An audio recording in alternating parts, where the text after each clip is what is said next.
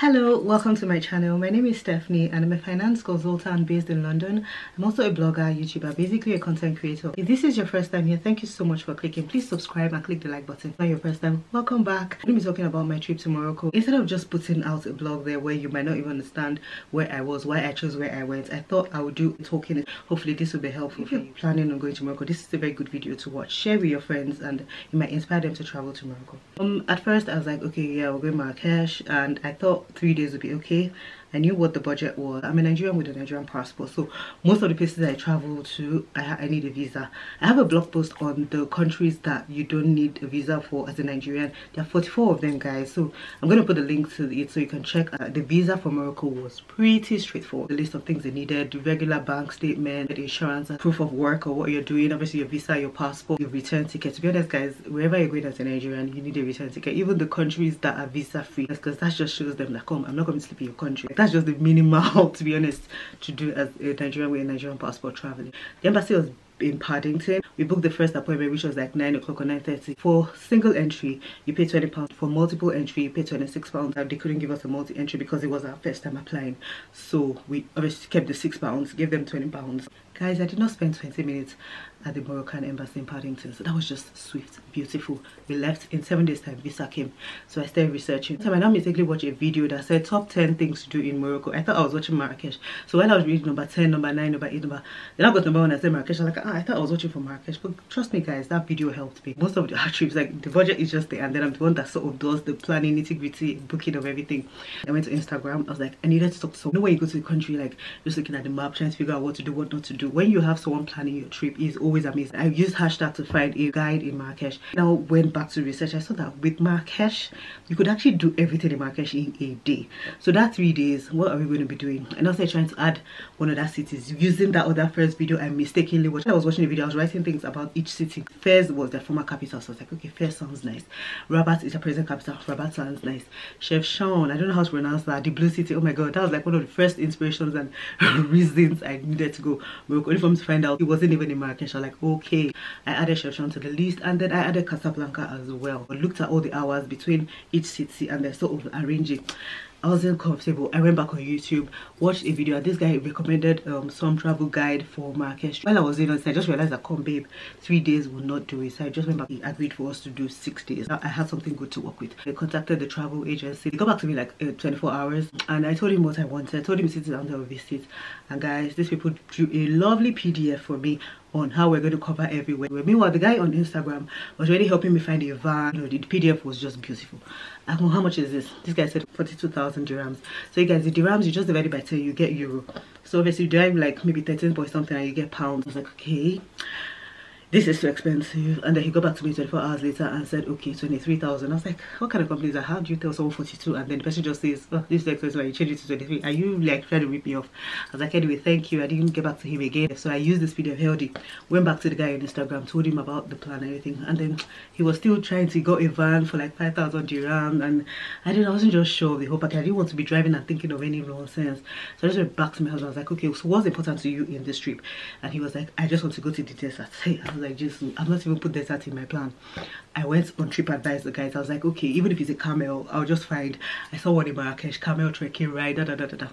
They said we go somewhere and ride the camel for like 30 minutes, like this. My husband will be fine with this um second thought i just started reading other people's whatever on tripadvisor reviewing like a particular company.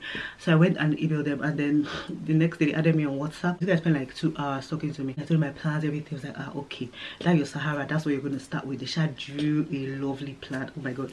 You guys i was so impressed. In the end it was going to be 650 euro per person which is 1300 euro which is obviously 13,000 so you can imagine that is a minus 10 of even what the guy thought he was the deal he was doing and when i started re reading reviews of the other company they're like they don't even take it personal you know how someone will take your trip personally? Like this other guy like showed me pictures showed me reviews. Like you know when your instinct just go and you guys that's when people say when you think of something how you want something think of it. Your actions will be in that direction everything I thought of was everything these people were offering me. The first thing is we're taking care of dinner, breakfast, and our uh, So it was just nice. That's how I found who I was um, going with. Other things um, to expect from Morocco, as you read from many um, blogs, you know the people, a lot of them want to guide you, they want to help you, help you, but they always beg like even to the kids it's so disgusting like you walk working so like i made this for you give you for you know you may want that 100 dirham 100 and they will even tell you the price they want or the hair that they can just massage it on your hand i'm like ah please we want money we want so they are kind of like that. They're very very friendly.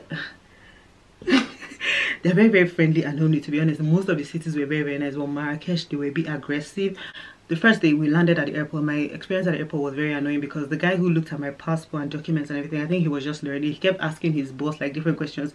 At some point he started even doing my visa like this like maybe he thought i used chalk to paint the visa or something. It was really really annoying. Asked me what i did for like 10 million times. As one of the officers kept apologizing that he's a new guy so he's just trying to make sure he gets everything right. But that was it. We drove to Ouarzazate the tea break somewhere. Stopped took some pictures. Drove drove drove. He was playing arabic music. At some point he now started playing like english music which was good. So enjoy the vlog of our first day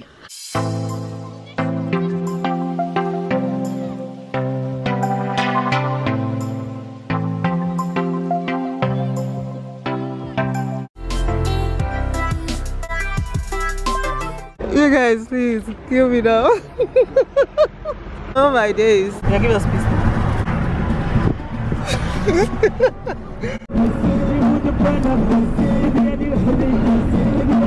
Two hours later.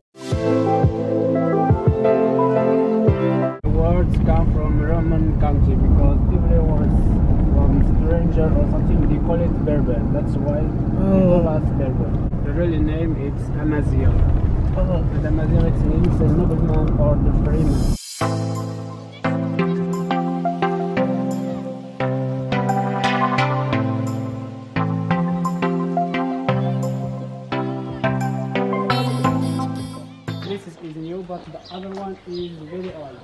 Call it Kasbah. Kasbah it means the collect houses with towers in the corner.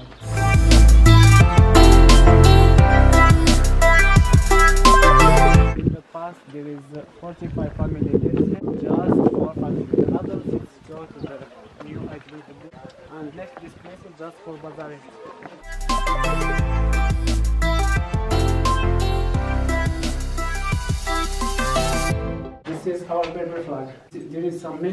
this flag. Okay, that's the symbol, yeah?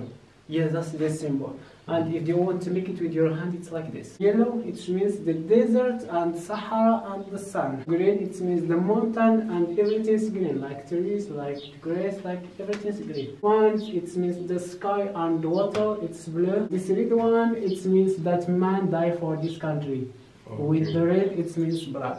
This is our culture, important language in uh, the God, the country, and the king. Okay. For the Morocco. Yes. This is a picture. You just paint it. You will see the magic of tea and sugar.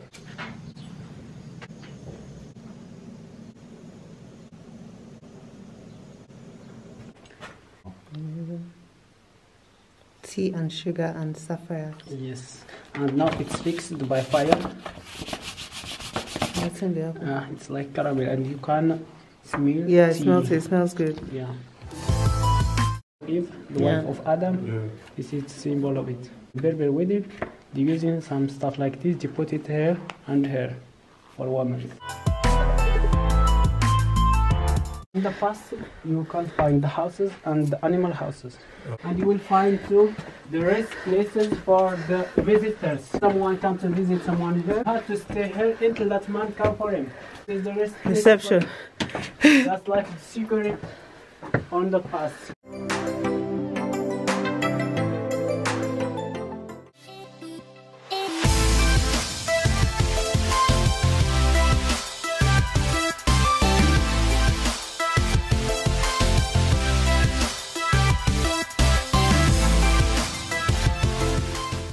Second day, obviously woke up at Ouarzazate. The Sahara is really far from Marrakesh, so it's not something you can just drive straight to. So the Ouarzazate just helped us see Atlas Mountain, see so many things, and then the next day we're heading out. On our way to Sahara, we stopped at Tingi, Todra Gorge, Fraud, and then the Merzouga. I think Merzouga is the area where the Sahara Desert is. Mohammed parked the car back back in the final I was on top of a camel. It was a very nice ride guys. Yes in the beginning I was quite scared but at some point I got really comfortable with the camel ride. I did videos. Enjoy the second day.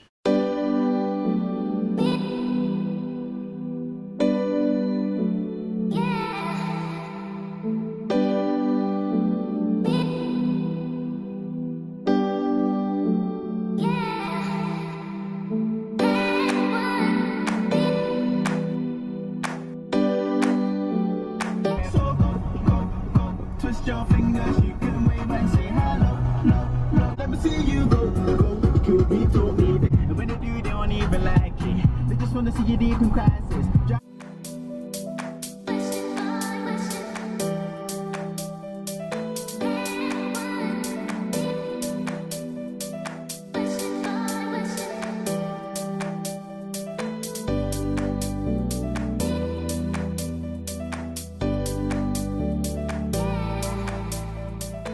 As we're riding for like 25 minutes. I'm now so comfortable. Only when we're climbing down, very steep one. And I'll grab this thing with all my power. In fact, my hands even started hurting me at some point. So I think once this is over, we just watch the sunsets and go into our tent. I'm gonna show you guys what the luxury tent looks like.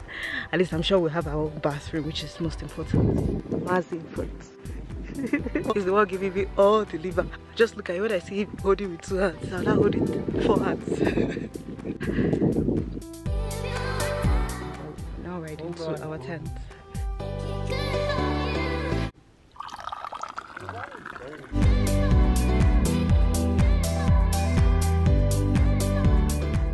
On the way to Fez, we passed through Ziz Valley, Midelt.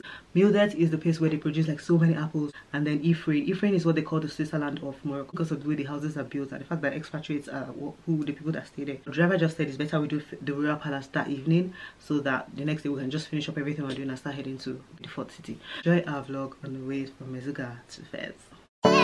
So they woke us up at like to 7 to come and see the sun.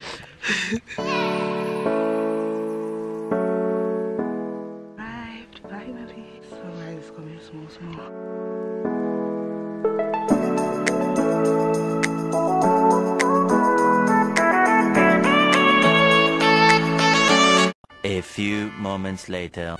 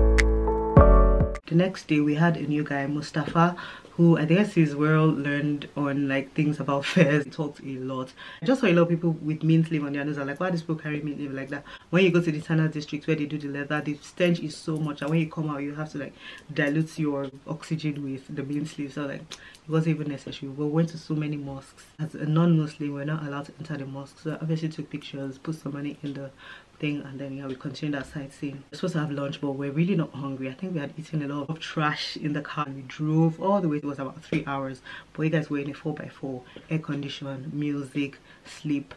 I was even editing pictures like so it was nice. It wasn't bad at all and it was relaxing guys. No looking at maps no thinking what are we doing here? What are we doing there? Enjoy day four in the new city. It's referring to the new part, which was formed generally in the 1912, 1913 because of the French or the Spanish uh, colonization. And the Medina here in Fez, it was found around the 8th century. And around 789, where Moulay Idris is the father, he came to this area and he built a small village next to a river we called Oued Fez. And his son, who took over the, the rule uh, later, when his father died, he built another village in the other side of the river. So there is a small river like running right now in the middle of uh, the Medina. Did this gate right here on our left side. Marrakesh, you know, it was found in the 11th century by Almoravid dynasty. You know, this is the old Medina, uh, which is like the oldest Medina here in uh, Morocco. Like here, it's very narrow, but you can see in this street, it's very small that you have to go and go down in order to get to the other side.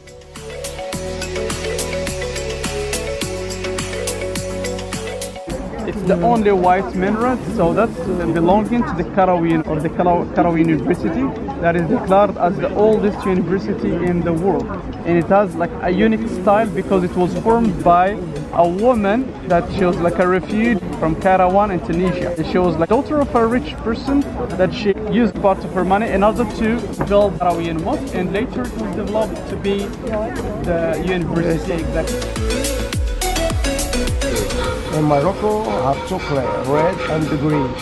Red set in Marrakesh, Asafi, and Saudi Rabat, and the green in the mountains, 9 kilometers from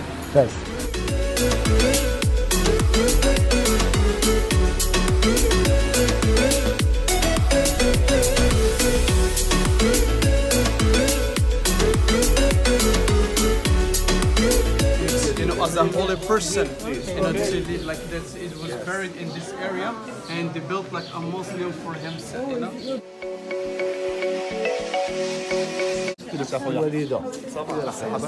The bread it's baked, you know, and there it's oven, so they have they make like.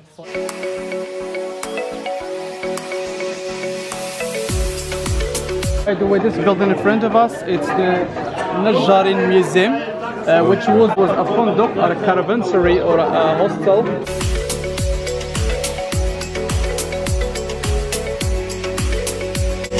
Chef Shaun or Chef Kaun is the place that is really blue. Everywhere is blue. So we stopped there, took pictures, got into the city, checked in, and then we went to find Aladdin restaurant. So you guys, if you're ever in Chefchaouen, go to Aladdin because you will see the whole of the city from the topmost floor. Back to our hotel and then watch that Chief Daddy movie. Slept off, woke up the next day.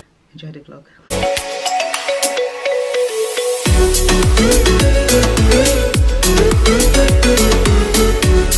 We just checked in. Right now, we're going to the apartments because the rooms are here, but the apartments are somewhere else.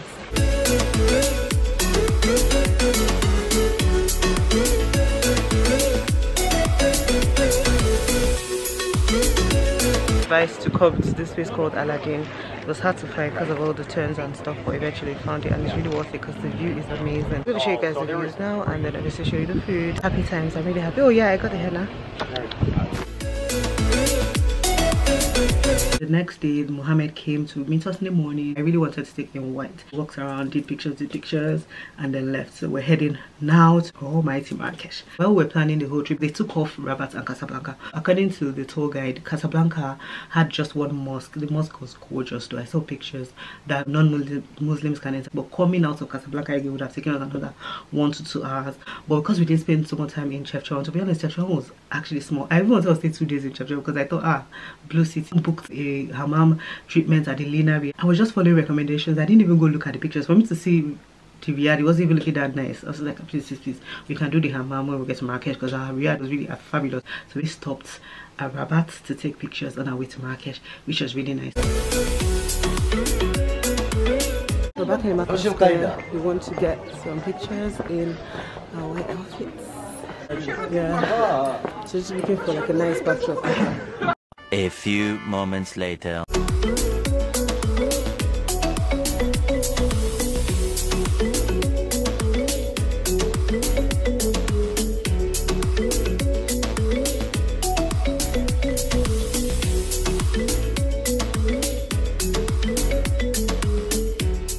Once you got there, you just know the difference. Market is just like Lagos. I said, you know how you leave maybe Abuja or Calabar and then go to Lagos and everybody just mad. He was really impressed with my choice of that. We are, though I showed him everything, but if the place was looking he would blame me. the next day, we had another guide. He came to meet us at 10 o'clock after breakfast. The guide just took us all around. We are just walking. More of a walking thing. The walk was long so at some point we are tired. He even wanted to just go back to the riad because he just liked the place. So i was like nah. Ended at jardin Majorelle, beautiful place, stunning with like flowers, so beautiful lodge. It was quite expensive to enter there to be honest. They had a price for Moroccan citizens and international people, which was very annoying. But it was it was worth it. was well, I would like say it was worth it, not really. It was just beautiful, very very nice. Took some pictures there. We bought some snacks. Enjoy the video.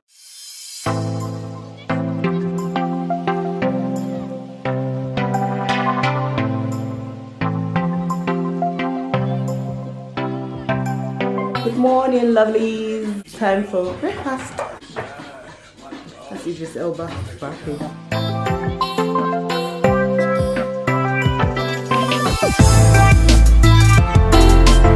he has to find somebody who will replace him until he become like the king until his kids become uh, Old enough. old enough for to reign How many wives did he have? The person that gave he four wives Did he give them all of them this type of palace? no but normally one is made for this is the origin the rest they have them some rooms Oh. he gave them some rooms and he has also 24 mistresses Okay, so where did they stay?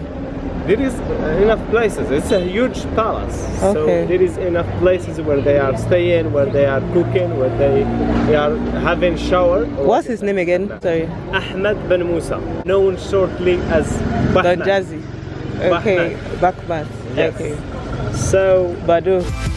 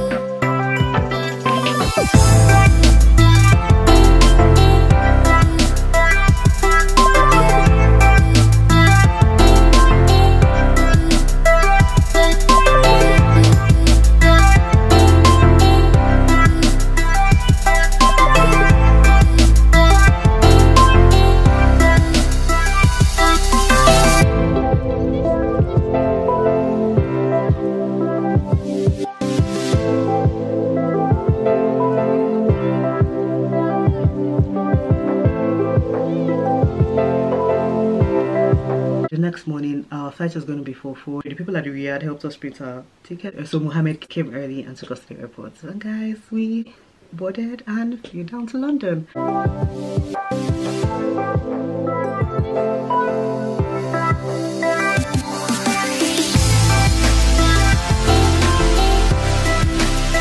That was it basically. It was an amazing trip. Even forgot to guys we bought internet that same day before we got to the hotel in Ouarzazate. The whole of Morocco don't be looking for alcohol anyhow. The only place you get alcohol is like some specified shops that sell it or this is like Carrefour which is like a ShopRite or Westwood or something where they have a section like they are so self-sufficient. Like everything they build it themselves. They even use animal fossils to make like decorative things and ah, it's just amazing. I think their most important import is actually with the tourists. Conclusively make sure you look at my blog because there are some things i might have forgotten. I'm going to put every single detail on my blog. Contact me send me a comment. You can send me an email you can send me a dm on instagram at metrogypsie if you have any questions. There's going to be a video on the Riad we stayed the food we ate and what we wore I'll probably explain a bit more there, but make sure you look at my blogs. I'm going to put links to every blog that's connected to my Morocco trip. You need to go to Morocco because I make it fantastic. You can't go to Morocco, guys, without going to the Sahara. Click the subscribe button if you haven't and share this with your friends. Do have a good time and thank you for watching. See you on the next episode. Bye bye.